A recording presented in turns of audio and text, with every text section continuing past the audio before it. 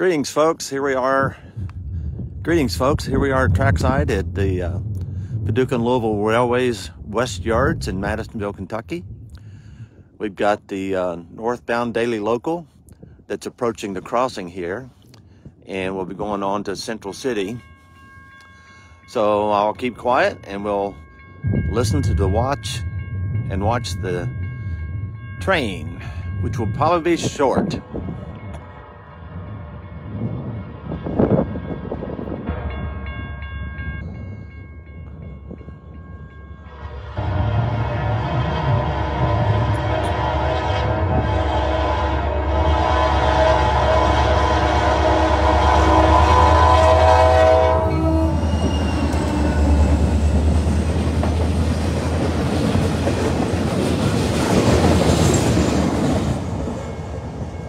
Well, there you go.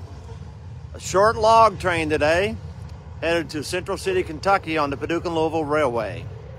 Uh, that train's designation, I believe, is WW1.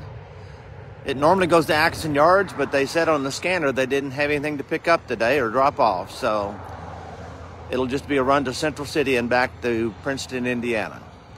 Hope you enjoyed this short video, and if you happen to be out trackside, as always, stay safe and have a blessed day, everyone.